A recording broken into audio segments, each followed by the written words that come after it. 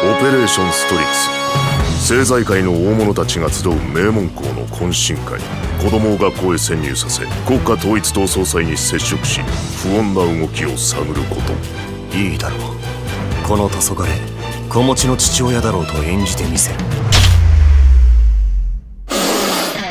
世の親たちはこんな高難度ミッションをこなしているのか。ダメだ。理解できん。振り向いたら殺す。結婚離婚歴なし。最終的に正式な婚姻を承諾させてやる。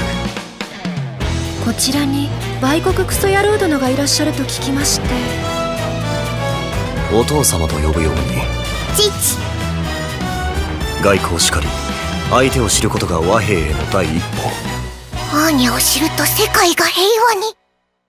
アーニャピーナッツが好き。ん？うん。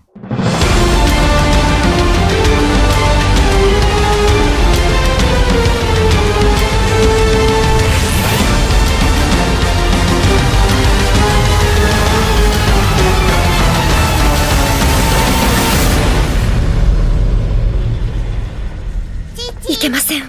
こんな考えでは殺し屋だと見抜かれてしまいます。こ、